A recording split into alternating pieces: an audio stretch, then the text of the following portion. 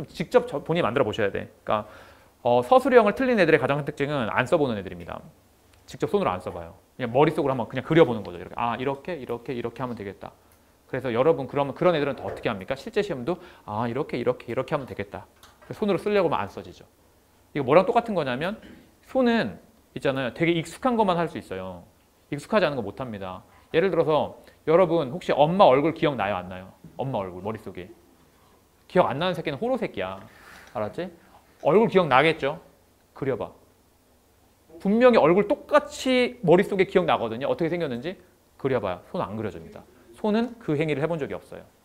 그러니까 행위를 해봐야 내가 직접 그려볼 수도 있고 쓸 수 있는 거기 때문에 여러분 서술형은 분명히 무조건 써보셔야 돼요. 그러니까 지난 시험 서술형 전부 다 제가 체크했던 거 다 나왔잖아요. 1학기 때 다 나왔습니다, 진짜. 근데 그거 틀린 애들 분명히 있죠? 해봤는데도 불구하고 본인이 안 해본 거예요. 제가 해드렸지만 본인이 안 해본 거예요. 그러니까 해보셔야 돼요. 이거 되게 힘들어요. 그러니까 귀찮고 사실. 음.